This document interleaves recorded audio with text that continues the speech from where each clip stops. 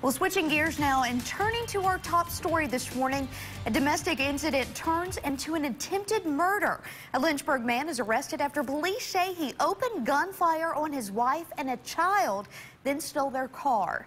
The Lynchburg Police Department arrested 58-year-old Curtis Edward Thrasher. Officers responded to reports of shots being fired at 629 Graves Mill Road. When police arrived on scene, Thrasher's wife told police that her husband shot at her and the girl with her. The victim says the incident started when she and the girl were at the Shell gas station on Timberlake Road. That's when Thrasher followed them ramming his truck into their van. Looking for safety, Thrasher's wife says she and the girl drove to her home, got out of the van, and began running through the woods behind their home. Thrasher then followed them, firing more shots.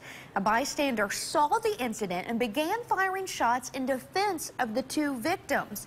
Thrasher then abandoned his truck and stole the victim's van. He later parked it and ran away on foot.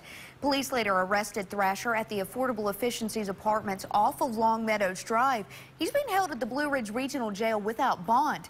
He's charged with two counts of attempted murder, violating a protective order, and possession of a firearm by a convicted felon, among other charges.